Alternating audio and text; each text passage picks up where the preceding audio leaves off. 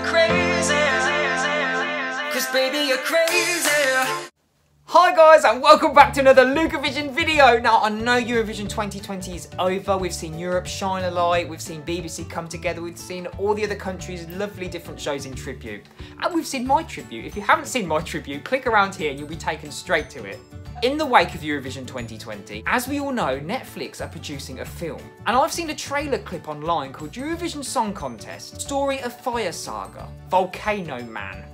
So I'm not sure if this is acting as a trailer or it's showing you a clip of the song that they're going to be using. All I know is Will Ferrell and Rachel McAdams are going to be playing an Icelandic pair competing in the Eurovision Song Contest. And we're going to be seeing stars from Eurovision and stars from America. I'm hoping it's going to be so good and it's something that we can all relate to and love, especially seeing as Eurovision was cancelled this year. I'm really excited to take my very first look into what could possibly set the tone for the rest of the film. so enough chat, let's react. Volcano Man either sounds like a really terrible superhero or a really epic Eurovision song. So let's hope it's the latter. Let's go. Okay. Rachel McAdams! That voice! That auto tune. Loving the a cappella feel. Sounds like it's going to be good. Lovely build. Oh. Yes, it sounds really good. Loving it.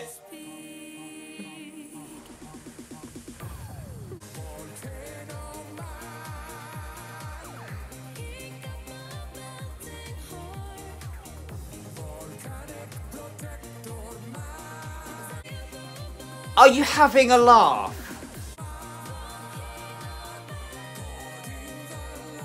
This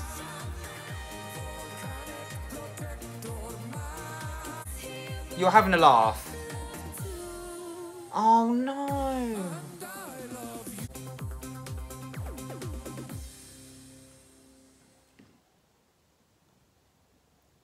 What? I'm sorry, what? This... I was really worried about this. I was worried that it was going to make us look like weirdos or make Europe look like a joke or it's really going to put a bad light on Eurovision. That to me is just a joke. I'm sorry, I know this is coming across negative and coming across bitter. That was, the song started off really promising and really great, and then it turned into some sort of facade. Volcano Man! What? I know you've seen Novelty in the past, you've seen Verka for God's sake.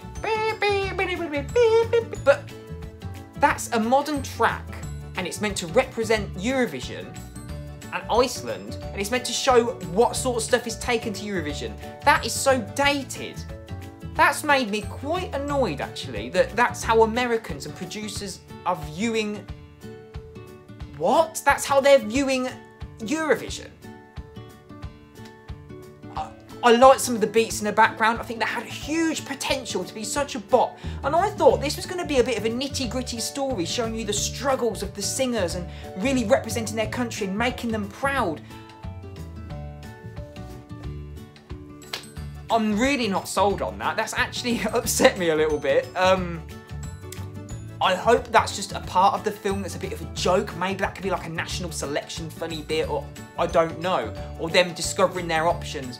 But I feel like that's just made the whole competition seem a little bit of a joke. I hope I'm wrong. I really hope I'm wrong because I'm really looking forward to this film and I think it's going to be epic. But I just hope they don't ruin it for the fans and the spirit. That's... Enough about that.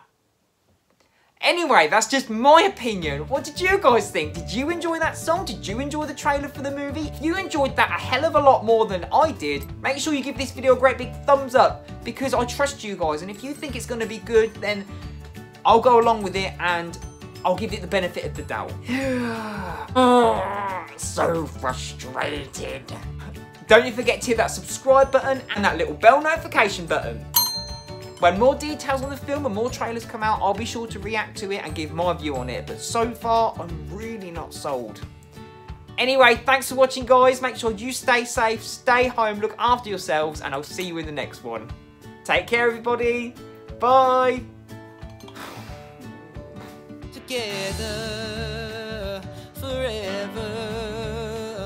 Da da da.